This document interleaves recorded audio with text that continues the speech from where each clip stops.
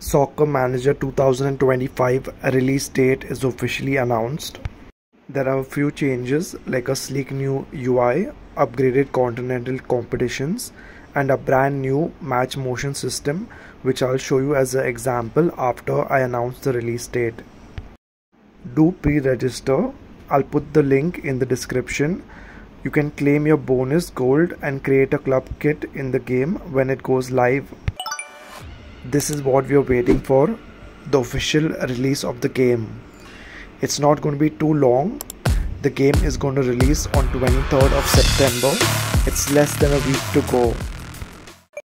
I have been playing the beta and found decent formations for tips and tricks and formations to use and different tactics which work.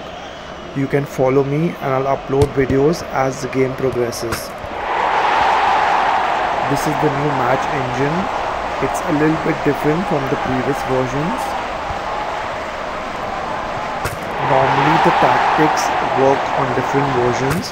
As the versions get updated and the game updates normally the old tactics stop working. So do follow.